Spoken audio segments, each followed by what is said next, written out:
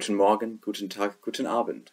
Let's together discuss the water cycle of the Mekong Basin as well as different future scenarios. The Mekong Basin is located in Southeast and East Asia, going through Tibet, China, Myanmar, Laos, Thailand, Cambodia, and Vietnam. Right now we're looking at a map of precipitation, that is, rainfall and snowfall over the Mekong Basin. Areas that are white or transparent have less precipitation than areas that are dark blue, and this will change as we move forward into the map.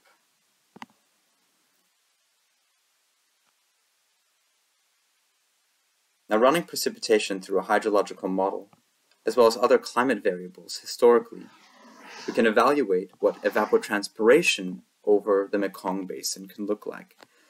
Evapotranspiration is the water that evaporates or transpires over soils or through crops.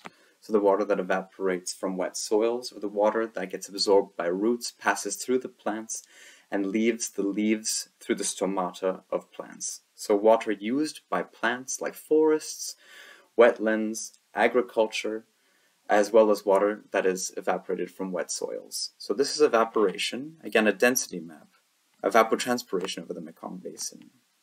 Areas that are darker or less transparent have higher values than those. Uh, areas that are transparent or light have lower values than areas that are dark. So we see here at the bottom, at the delta in Vietnam, we have a relatively high amount of evapotranspiration.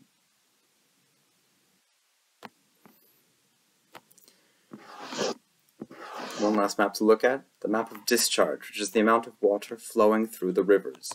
Again, this is simulated with the hydrological model CWatM at 30 arc minute resolution. We're looking at it from the delta, so the opposite way that the water, the water is traveling towards us. We are seeing the main line of the Mekong River in the Mekong Basin.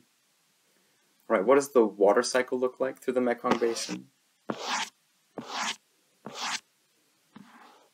So of all the inputs, it is mostly rain, but we see uh, a shadow of snow. Good. So less than 1% of the precipitation falling over the Mekong Basin is snow. Again, this is going to change year to year. This is just using a, an average over a few years. The main output from the basin is evapotranspiration.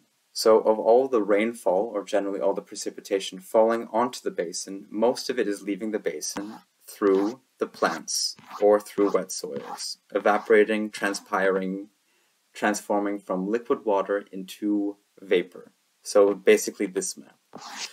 But a substantial amount of water also leaves the basin. We see downstream, which stands for the amount of water flowing through the river and eventually leading into the ocean. So the amount of water flowing out of the Mekong Basin into the ocean. This will change year to year. If I come over to this website, globalwaterbalance.herokuapp.com, and look for the Mekong Basin, click the Mekong Basin. All right, we see at the top it says 1971. So in 1971, it was a, a split between around 40, 60% river discharge of evapotranspiration, if I choose 2011.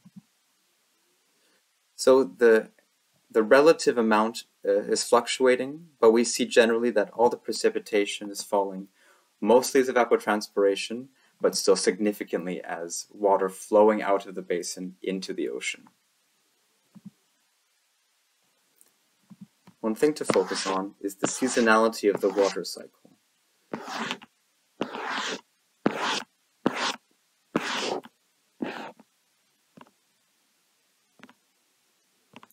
What we're focusing on here are the inflows and outflows.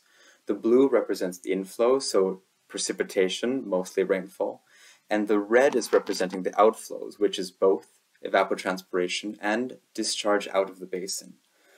We see with precipitation inflows there is a striking seasonality. There are definitely periods of wetness and periods of dryness, and there are peaks generally with both. We see the peak is perhaps uh, from June to, let's say, September, and we see almost no rainfall from December to March. We are looking at two years here.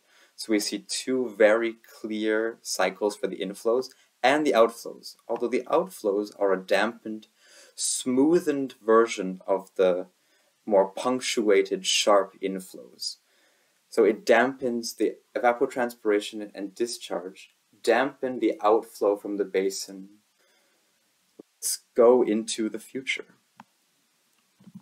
These are future scenarios based on different representative concentration pathway uh, scenarios. They represent different concentrations of greenhouse gas emissions within the atmosphere, how this might affect the climate, and different models built on these assumptions are, are simulated to see what could be the different peak precipitation or uh, valleys in precipitation. So we see here from 1900 to 2020 the historical precipitation in the Mekong Basin. Just to be clear, this would be zero precipitation. So this, we see a significant fluctuation from uh, within the years from 1900 to 2020, uh, perhaps even decadal seasonality. And when we look into the future scenarios, again, these are just scenarios to test the a reasonable range of what might be possible. I wouldn't bet on any of them, but they do allow us to test a range of scenarios particularly test current infrastructure and development plans against these scenarios to see how they may benefit from or be challenged by these increases or decreases in annual precipitation. To give a more um, similar comparison, let's compare 30 years to 30 years. So let's go from 1990 to 2050. So we see this example coming up in 2038, 36. Let's, again, not bet on any of these. These are just scenarios to test with we see that the scenarios suggest more precipitation than ever fell before or ever fell within the last century. We also see periods of annual precipitation lower than has ever been experienced within the last century. Of course, as we already noted, the spatial variability of precipitation across the Dan across the Mekong Basin uh, is heterogeneous. So although there might be years of wetness, years of dryness, uh, hydrologic anomalies. This will be experienced very differently across the basin, and years of wetness may also have parts of the basin experiencing uh, striking dryness. Here's another way of looking at this. Each point within the historical represents a year of precipitation from 1900 to 2020, and the dots within the three different scenarios, they represent different uh, representative concentration pathway scenarios and five different models for each of these scenarios. We see that there are points that are significantly higher than has ever been experienced within this last century, as well as points that are significantly lower.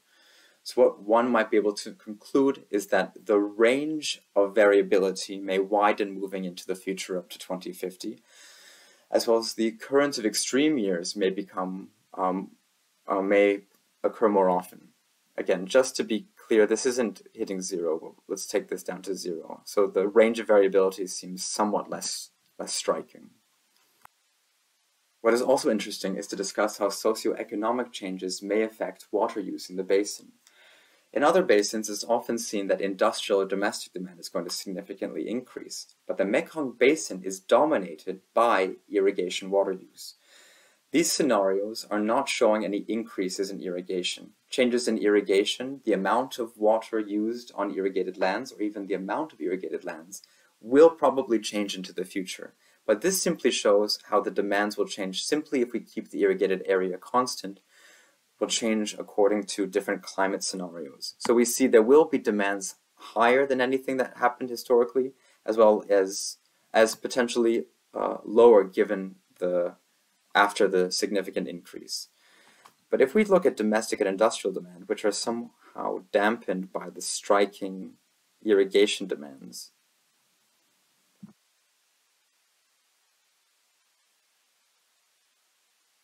we do see domestic and industrial demands both increasing. All right, how can the Mekong Basin prepare for climatic variability that may increase the occurrence of extremes as well as widen the idea of extremes, as well as experience increasing domestic and industrial demands amidst a landscape of significant irrigation water use. Solutions encouraging community-based management at the same time basin-wide uh, water management as well as green infrastructure and nature-based solutions are the priority. Good luck.